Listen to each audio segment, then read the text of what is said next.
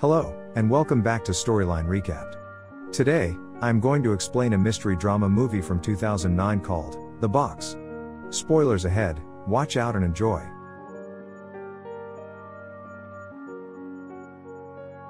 The film then opens up in 1976 with Norma and Arthur Lewis nestling in bed and arising at 5:45 a.m. as the doorbell rings. After opening the entryway, she sees a bundle close to home. Inside, she and her significant other find a wooden box and a note, understanding Mr. Steward will come at 5 p.m. Arthur goes to work at NASA, where he works in optics and aided in planning the camera on the Viking Mars test. He finds he has been dismissed from the Space Traveler program because of the way that he bombed the mental test. Norma goes to her occupation as an educator at a tip top tuition based school showing writing, where they are examining Sartre's vision of hell.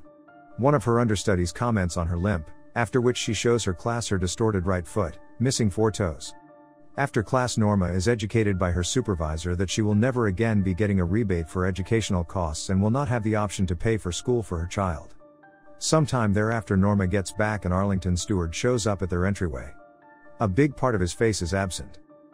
That's what Arlington says, assuming she or her better half presses the button. Somebody on the planet that they don't realize will bite the dust, and they will get 1 million bucks. Arlington leaves and tells her she has 24 hours. Arthur returns and Norma lets him know what has occurred. After many conversations about whether they ought to press the button, and some dabbling with the container, Norma out of nowhere jolts forward and hits it. Arlington returns and presents Norma and Arthur with a million, without finding out if they squeeze the button or not. He illuminates that they won't realize who will get the proposal next, and suggests that Arthur, Norma, or their child will be the ones to bite the dust. Arthur storms after Arlington and endeavors to return the million, however, Arlington drives off. An emergency call is shown, where somebody has been shot. The police go into the house and find a lady shot through the heart, and a young lady secured in the washroom higher up. Arthur and Norma then, at that point, go to a wedding practice supper, where Arthur is told to choose a present from a table. Arthur then sees a crate similar to the one remaining close to home, with the button in it. This time, there was a photo of Arlington inside. Norma's sister lets Arthur know that the understudy Arthur saw was the person who ridiculed his better half's foot. Arthur meets and requests that Norma's father run the tag number of Arlington's vehicle. Norma gets a call. It is Arlington, who reprimands her for permitting her better half to connect with the police. Arthur indignantly moves toward the understudy from Norma's group and hollers at him for ridiculing Norma. As they start their vehicle, they see no exit composed into the ice on their windshield. At the point when they return home, Arthur takes their sitter, Dana, home. Dana had before gone down into the cellar with their child Walter, to see Arthur's Mars assortment. She sees the image of every individual who chipped away at the advancement of the camera. As they are driving, Dana acts oddly, posing Arthur bizarre inquiries, for example, what's irritating you? Her nose starts to drain and she drops.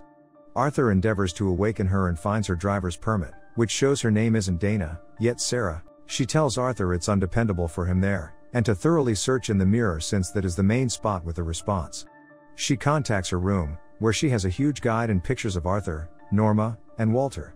At home, Arthur takes a gander at the huge picture in the storm cellar and sees that Arlington is in the photograph. At a general store, Norma is moved by a terrified lady who advises her to look into a specific call number in the library, before dropping with a horrendous nose. Arthur figures out that Arlington's tag is enlisted to the NSA. He inquires as to whether he can go with him to see the house where the shooting referenced before occurred. When there, he finds pictures of Arlington and an image of a human resources book, and a library call number. Arthur discovers that the lady was taken shots at 4:45 p.m., a similar time Norma pressed the button. Norma and Arthur both visit the library, independently. Norma dodges Arthur, as trained by the lady in the grocery store. Norma finds a film reel, which shows Arlington before his deformation. Arthur is trailed by a horde of surprised looking individuals. He ends up in an enormous lobby loaded up with additional frightened looking individuals.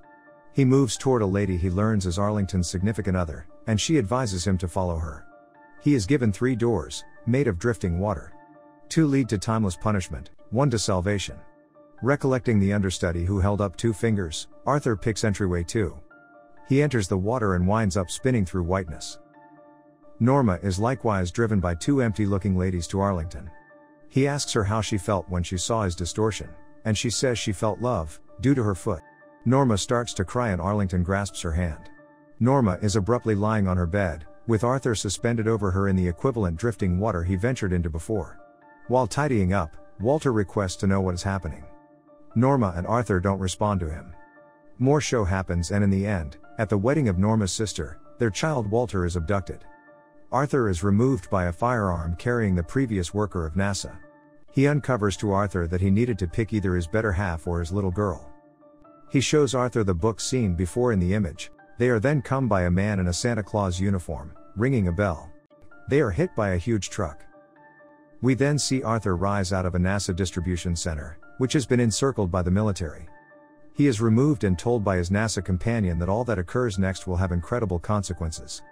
Arthur and Norma get back and see Arlington in their kitchen. He illuminates them they face two last choices.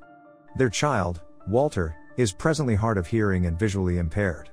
They can either reside on with their million bucks, and their debilitated child, or Arthur can shoot Norma through the heart. So, all in all, Walter's sight and hearing will be re-established and the million will be put in an exorbitant premium ledger for Walter to be held in trust until his 18th birthday celebration. We learned before in a stockroom brimming with surprised individuals, when Arlington's crony addressed him, that Arlington's bosses are trying humankind to check whether they are valuable. Arlington leaves, telling Norma and Arthur that their child is in the restroom, locked higher up. Both of them run higher up and attempt to get him out, yet can't because he can't hear them beating on the entryway. They conclude that they should pursue a decision, and Norma drives Arthur's ground floor.